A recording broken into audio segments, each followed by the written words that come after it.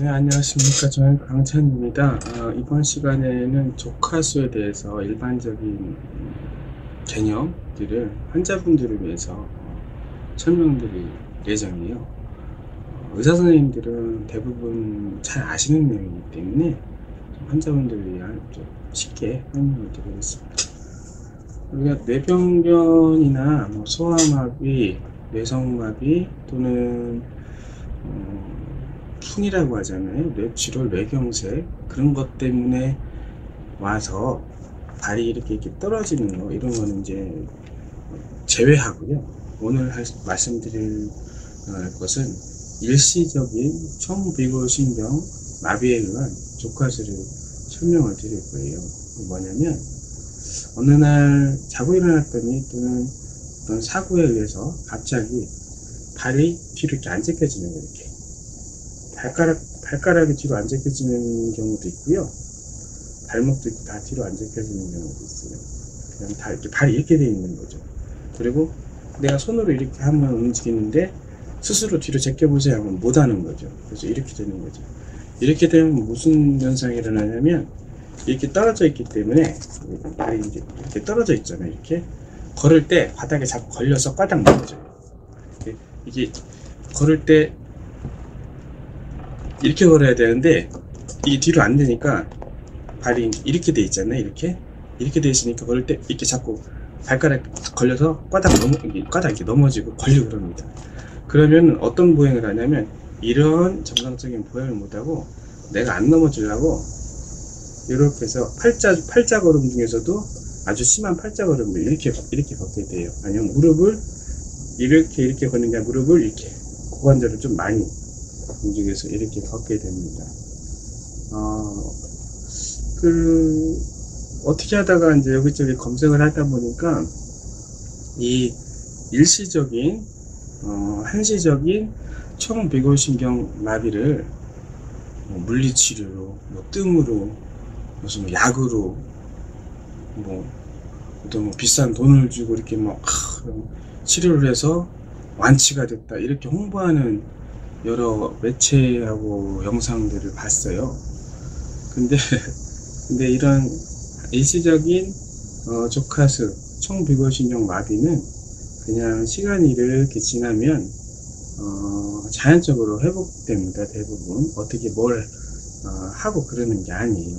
근데 가끔 이제 오해를 하시죠. 그래서 대부분의 환자분들은 오시면 걱정이 돼가지고 우, 우시는 분들도 계시고 그래요.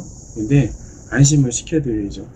짧게는 한 달, 길게는 한 6개월 정도 지나면 어느 날 갑자기 확 되는 게 아니라 어느 날 발가락이 이렇게 이렇게, 이렇게 힘이 좀 들어가기 시작하면서 어느 날 발목도 조금 조금 힘이 들어가면서 나도 모르는 사이에 서서히 이제 기능이 다 회복되는 그런 과정을 겪게 된다고 설명을 드립니다. 말씀드렸던 것처럼 짧게는 한 달, 어, 길게는 6개월. 물론 그 이상 가시는 분들도 있는데. 그리고 그때 나타나는 증상이 하나가 더 있어요. 이 발에 이렇게 보시면 오른발이죠. 여기 요거를 이제 무릎 무릎뼈 요거를 경골이라고 하고 요거를 비골이라고 그래요. 이렇게 여기 비골. 이걸 비골 머리 비골 두라고 하고 비골 목 비골 경부라고 하는데요. 요로 이렇게 어, 어, 어느 정도 두께라고 해야 되나? 한 지름이 한 5mm 되는 신경이 요 밑으로 지나가요. 그게 총비골 신경이라고 하는데 총비골 신경의 기능이 뭐냐면 제 손바닥으로 가리는 요 부분에 감각을 지배해요. 피부 감각. 그래서 총비골 신경 마비에 의한 족하수가 오면 요렇게 감각이 떨어지거나 저리거나 시리거나 남에서 갖거나 이상 감각이 생기거나 그럽니다. 이는 감각신경 증상이고요. 그리고 운동신경 증상은 이 총비고신경이 마비가 되면 아까 말씀을 드렸던 것처럼 이렇게 돼가지고 이게 안 돼요 이게 이게 이 두 가지 증상이 주된 총비고신경 손상에 의한 총비고신경 마비에 의한 조카수 증상입니다. 그러면 이게 언제 오냐 주로 간단하네요 여기 어, 총비고 신경의 주행 경로인 여기 아래를 눌리면 와요. 짧게는 1, 20분, 길게는 어, 한두 시간 눌리면 자세 변경 없이 계속 누르고 있으면 마비가 와요. 이거 생각하시면 됩니다. 어, 우리가 800에 하고 자잖아요. 800에 하고 자다 보면 어느 날 순간 막 이렇게 저리잖아요. 저리죠. 그래도 어 저려 저려 하고 풀면 이제 옛날에 뭐 이런 것도 하고 있는데 시간이 지나면 한 1, 20초 지나면 서서히 풀리잖아요. 그 증상인데 800에 했을 때는 여기 있는 신경들이 눌린 지 얼마 안 돼서 우리가 바로 풀기 때문에 이게 저린 것이 마비도 오고 저린 것이 없어지는 거예요. 금방 10초, 20초 이내에. 그리고 혹시 거 어렸을 때 해보셨나요? 이렇게 해서 툭툭 하면 여기 찌릿찌릿한 거. 신경을 툭 하면 이제 찌릿찌릿. 여기 이제 척고신경을 우리가 눌러서 자극을 하면 요렇게 어, 여기다 요렇게 전기가 찌 와요. 그것도 한순간에 탁 자극한 것이 증상이 나타나는 건데 이걸 저희들이 10분, 20분, 1시간, 2시간 누른다고 생각을 해보세요. 그러면 찌릿한 전기가 회복되는 게 좀 더 시간이 걸리겠죠. 그게 총비고신경 마비가 왔을 때 회복되는데 걸리는 시간이 아까 말씀드린 것처럼 1시간에서 이제 운동신경까지 마비가 된 경우는 일단은 어, 오래 눌렸다는 거거든요. 10분, 20분 이상, 한두 시간 이상 눌렸다는 건데 그 정도가 왔다는 거는 회복되는데 최소 한 달에서 6개월 걸린다는 겁니다. 그럼 그게 언제 때 주로 생기냐면 잠시만요. 제가 이거는 이제 모델에다가 이제 깁스를 한 거예요. 단아지, 뭐 뒤꿈치 개방형 단아지 석고붕대 고정이라고 하는데 우리가 어, 깁스를 이렇게 하는 경우가 있죠. 근데 우리가 깁스를 좀 올리, 높게 했어요. 무릎, 무릎 뒤까지. 그래서 무릎 뒤까지, 여기까지 있네, 여기까지. 또는 무릎 위까지. 근데 깁스를 하다가 여기를 좀 눌렀어. 그럼 여기 총비고신경이 지나가는 길이 눌릴 수 있겠죠. 통깁스가 됐던 반기부스가 됐던 어, 이 총비고신경이 지나가는 길에 조금 쪼이고 눌린 상태로 오래 내비두면 이런 총비고신경 마비에 의한 족화주 증상이 나타날 수 있습니다. 그리고 두 번째는 우리가 이제 잠을 자는데 너무 피곤해 지쳐서 잘 때. 그러면 우리가 우리 어부가도 모른다고 그러잖아요.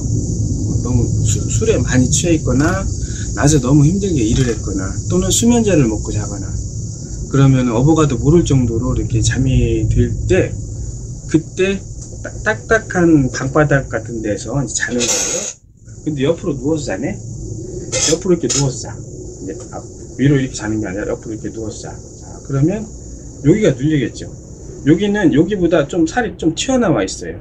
근데 만져보세요. 뼈보다 뼈 아래 살이 튀어나와 있어요. 근데 이 상태로 방바닥 딱딱한 방바닥에 눌, 눌, 음, 눌린 상태로 자세 변경 없이 제가 6시, 4시간, 6시간, 8시간 잔다고 생각해 보세요.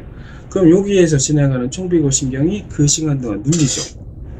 그럼 다음날 아침에 딱 일어나려고 하는데 다리 힘이 축 빠지면서 이 발이 덜렁덜렁 합니다. 그러면 총비고 신경 마비가 온 거예요. 영구적인 마비가 아니라 한시적인 마비인데 그 한시가 한, 한 달에서 6개월이라는 거예요.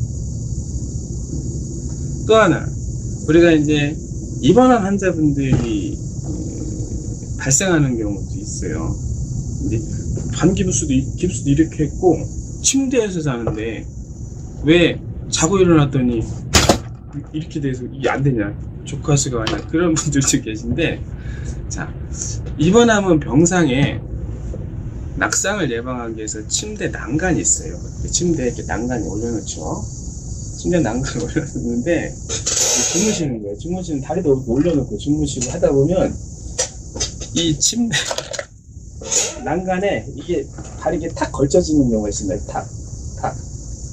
근데 내가 밤에 이제 진정제도 먹고 아니면 너무 심신이 어, 약하고 어, 발이 침대 침대 난간에 딱 걸쳐진 상태로 너무 피곤해서 이 상태로 잠이 들어버렸네. 자세 변경을 2시간, 4시간, 뭐 8시간 안 하고 그냥 잤어요. 그러면 다음날 아침에 이렇게 조카수가 옵니다. 가장 게 흔한 경우가 이런 경우예요. 어, 과음도 원인이 됩니다. 근데 저도 이제 가끔 이제 술 많이 취하면은 어, 집에 어떻게든 와가지고 바, 방, 방바닥에 들어 누워서 자는 경우도 있는데 그렇게 방바닥에 들어 자다가 옆으로 이렇게 자다가 아까 전처럼 여기가 눌리는 거죠. 근데 여기가 뭔가 튀어나온 뭐 게 있었다. 아니면 뭐, 뭐 딱딱한 뭐가 있었다. 아니면 야외에서 자는데 야외에서 자는데 무슨 돌 위에서 이렇게 자다가 여기가 눌렸다. 그러면 옵니다. 어, 이렇게 해서 오면 아까 전에 말씀드렸던 것처럼 모든 환자분들이 걱정하셔서 오셔요. 왜? 며칠 지나서 지켜봤는데 감각도 회복이 안 되고 운동도 회복이 안 돼요. 그러니까 정형외과나 아니면 개인 병원이나 한의원 갔더니 뭐 아, 이런 치료 해봐야 된다는 것도 있고 큰 병원 가서 자세히 설명을 드리라는 것도 있습니다. 어, 이런 경우 물리치료를 하고 아주 급성기 때는 스테로이드 주사를 맞아서 빨리 회복이 된다는 경우도 있는데 주로 하지는 않아요. 위험할 수도 있기 때문에 그래서 이런 경우에는 물리치료건, 온열치료건, 초음파 치료건, 체액중음파 치료건 다 필요 없고 뭐 뜸, 찜, 한방 무슨 치료 다 필요 없습니다. 그냥 지켜보는 겁니다. 제가 지금 말씀드린 상황에서 어, 심신에 지쳐서 어버가도 모를 정도로 어, 자고 일어났더니 마비가 된 경우 또 차 같은 데 끼어가지고 벽하고 차 같은 데 이렇게 끼어가지고 눌려서 마비가 된 경우 또는 어, 반깁수나 통깁수를 위에까지 올려서 하, 했다가 마비가 된 경우 이런 경우는 거의 대부분 돌아옵니다. 아무것도 안 해도 돌아와요. 한, 한 달에서 6개월.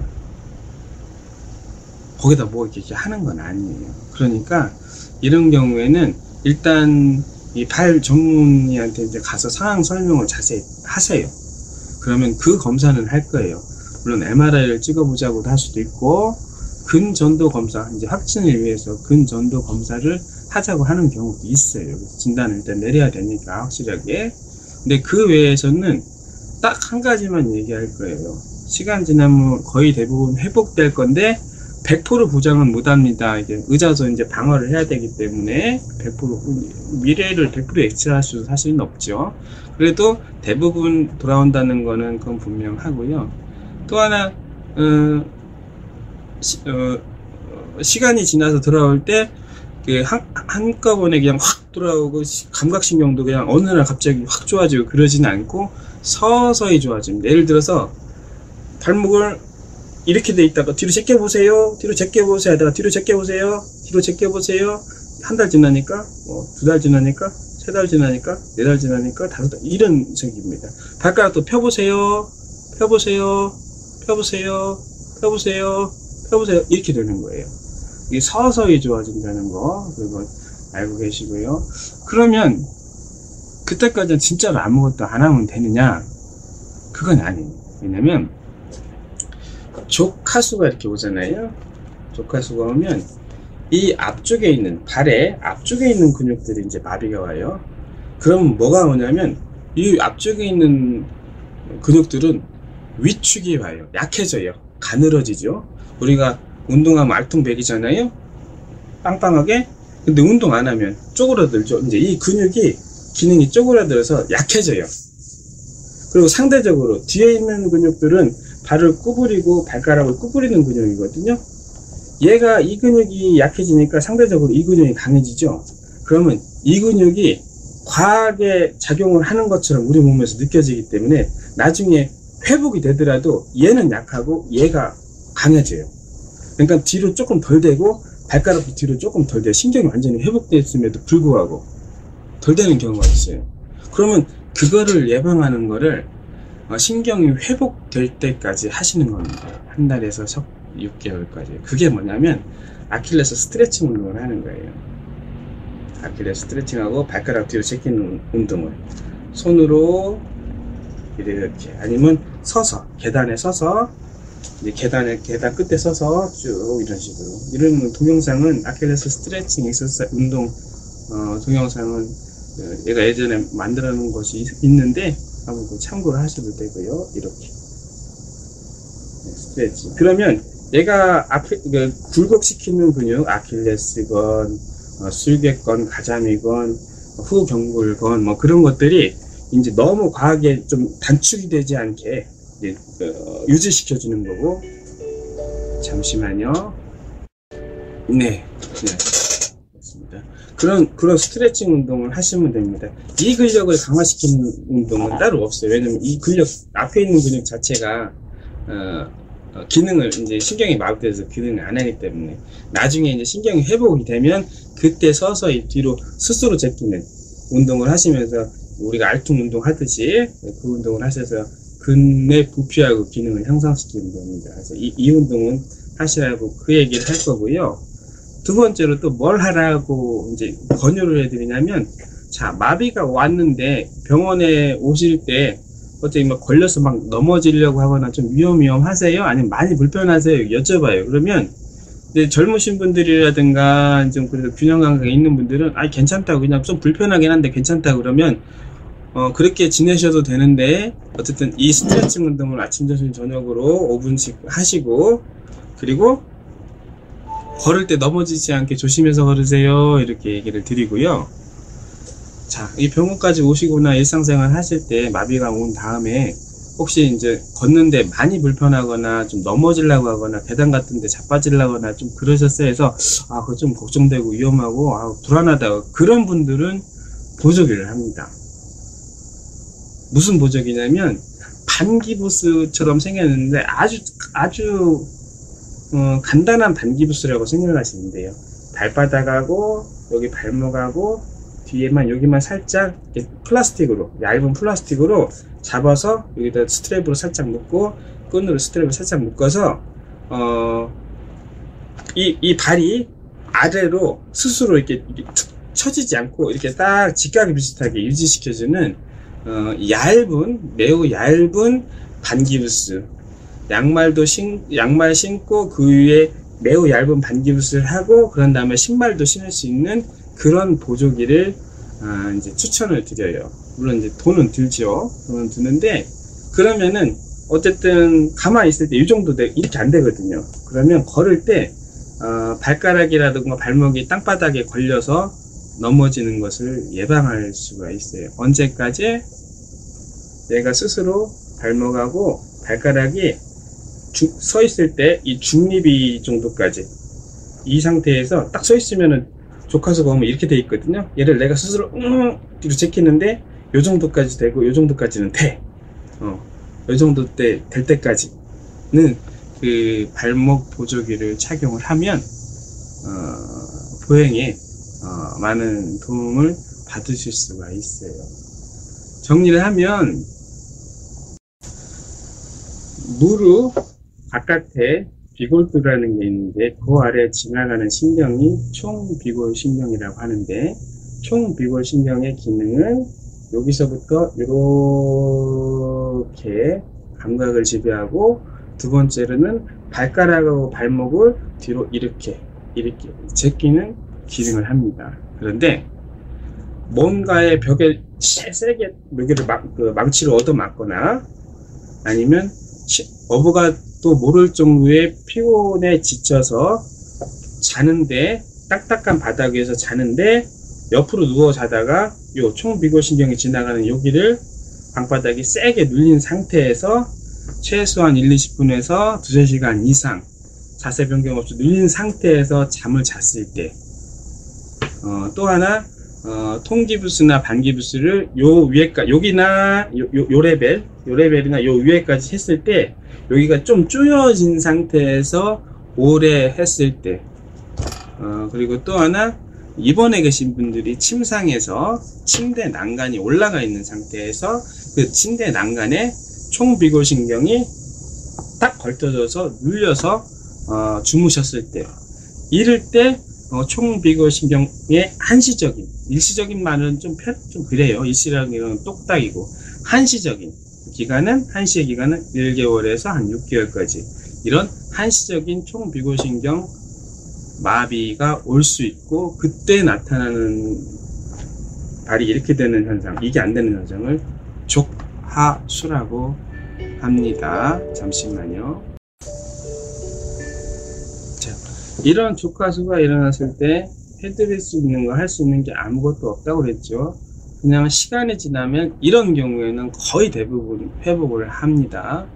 진단을 위해서 뭐 MRI 또 혹시 다른 게 있나 싶어가지고 다른 게 있나 싶어서 MRI를 검사하기도 하고 뭐 근전도 검사로 확진을 하기도 하는데 뭐 해도 그만 상황만 명확하게 설명이 된다면 어 그런 그 생길 수 있는 상황만 이벤트가 명확하게 있다 그러면 굳이 그런 건 하진 않으셔도 되고 그때 뭐 물리치료니 뭐 주사치료니 운동치료니 한방치료니 뜸이니 뭐니 한약이니 어 그거 안 하셔도 돼요. 그냥 시간이 치료입니다. 다만 시간이 치료인데 어, 본인 스스로가 좀 해야 될 부분은 있다고 말씀드렸어요. 예. 이 근육 구부리는 근육이 좀 더 상대적으로 세지고 위로 올라가는 지키는 근육이 상대적으로 어, 약해지고 쪼그라들기 때문에 어, 회복이 될 때까지는 본인 스스로 아침 저녁으로 아킬레스 스트레칭 운동 계단에서 하셔도 되고 이렇게 계단에 계단에 걸쳐가지고 이렇게 하셔도 되고 고무줄 같은 걸로 이렇게 쭉 이제 고무밴드가 있어요. 쭉 늘려서 이렇게 아킬레스 스트레칭 운동을 하셔서 나중에 이제 시- 신경이 완전히 회복됐을 때 뒤로 제껴지는 게 어, 균형을 맞출 수 있는 어, 그런 운동을 꾸준히 해주시면 하나 도움이 될 거고요. 또 푸드를 비와서 조카스가 와서 걷는데 자꾸 걸려서 넘어져서 내가 위험할 것 같다라고 느껴지시는 분들은 어, 어, 신발 어, 그러니까 착용을 하고 신발도 신을 수 있는 매우 얇은 플라스틱 제품으로 된 보조기 우리가 AFO라고 그래요. Foot Orthosis 어, 발목 발 어, 보조기 이런 건데 이렇게 차는 게 있어요. 양말 신고 차고 신발도 신을 수 있는 그런 거를 어, 맞추시면 걸으실 때 넘어지지 않고 이것 때문에 걸려서 넘어지지 않고 보행도 정상하고 비슷하게 할 수 있는 그런 것을 추천하기도 합니다. 음, 이벤트가 비슷하고 거기가 완전히 신경이 끊어지거나 아니면 뇌출혈, 뇌경색, 소아마비, 음, 뇌성마비 그 경우는 조금 틀려요. 종양 그건 틀려있는데 어쨌든 이, 요 부위에 어떤 이벤트가 있었던 어, 밀리거나 맞거나 그런 이벤트가 있었던 어, 총비고신경 마비에 의한 조가스는 대부분 자연적으로 회복된다는 거 그거 아시고 가끔씩 뭐한 달에 한 번 정도 어, 가까이 계시는 우리 이제 족부 어, 전문 선생님하고 면담을 해서 어, 얼마나 이게 호전이 되는지 그래서 어, 몇 개월 있으면 어, 돌아올 건지 그런 거를 어, 판단하고 설명 듣고 그러시면 되겠습니다. 네, 여기까지입니다. 경청해주셔서 감사합니다.